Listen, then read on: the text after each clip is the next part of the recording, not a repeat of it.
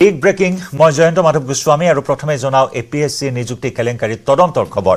এ P S C কেলেংকাৰীত পুনৰ আন এগৰাকী বিষয়ালৈ চমন সমবায় বিভাগৰ সহপঞ্জীয়ক চক্ৰধৰ ডেকালৈ জাননী এছ আই টিৰ। দুই জানুৱাৰীত চি আই ডিৰ কাৰ্যালয়ত হাজিৰ হোৱাৰ নিৰ্দেশ বিষয়াগৰাকীক এ পি এছ নন্দিনী কাকতিকো দুই জানুৱাৰীত হাজিৰৰ নিৰ্দেশ। দুই বিষয়াৰ বিৰুদ্ধে বহু বিস্ফোৰক তথ্য লাভ কৰিছে এছ আই টিয়ে। ঊনত্ৰিছ ডিচেম্বৰত এছ আই টিত হাজিৰ হ'ব লাগিব। এছিয়াছ হিতেশ মজুমদাৰ আৰু নিয়োগ বিষয়া Gitartha Baruah. A P S C কেলেংকাৰীত পুনৰ আন এগৰাকী বিষয়ালৈ চমন জাৰি কৰা হৈছে। সমবায় বিভাগৰ সহপঞ্জীয়ক চক্ৰধৰ ডেকালৈ জাননী এছ আই টিৰ। দুই জানুৱাৰীত চি আই ডিৰ কাৰ্যালয়ত হাজিৰ হোৱাৰ নিৰ্দেশ দিয়া হৈছে বিষয়াগৰাকীক। ইফালে এ পি এছ নন্দিনী কাকতিকো দুই জানুৱাৰীত হাজিৰৰ নিৰ্দেশ দিয়া হৈছে। দুই বিষয়াৰ বিৰুদ্ধে বহু বিস্ফোৰক তথ্য লাভ কৰিছে এছ আই টিয়ে। ঊনত্ৰিছ ডিচেম্বৰত এছ আই টিত হাজিৰ হ'ব লাগিব A C S Hitesh Majumdar আৰু নিয়োগ বিষয়া গীতাৰ্থ বৰুৱা।